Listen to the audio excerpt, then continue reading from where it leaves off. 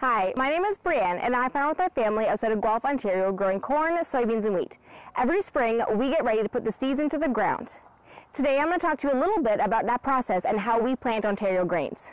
Ontario grains are generally planted in the spring once the soil warms up. Seeds need soil temperatures to be around 12 degrees Celsius before they begin to grow, so Ontario farmers will wait until the soil and weather warms up to plant their seeds. Grains also need other things in order to grow. They need sunlight, water, and plant food or nutrients in order to begin germinating in the ground.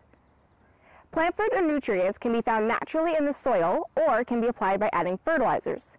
Grain farmers will check their fields by doing soil tests to find out what nutrients are naturally in the soil and then apply what is missing depending on the crop they are planting. This practice ensures that they're only applying what the field needs and not applying any excess that could leave the fields. Grain farmers will plant their seeds by using a tractor and planter. Behind me is an air seeder that actually uses air to push the seeds into the ground rather than digging up the soil to plant the seeds. Seeds are planted roughly 1 to 2 inches below ground to ensure that the seeds can start to germinate and put the shoots above ground to be turned into plants. Once in the soil, they will begin to grow roots, leaves, stems, and other necessary plant parts that will be used to grow these plants into the necessary seeds that we harvest in the fall. These seeds will be used in a variety of different households and everyday items that we use in Ontario every single day. Thank you so much for watching. If you have any more questions about how Ontario farmers are growing your grains, please visit goodineverygrain.ca.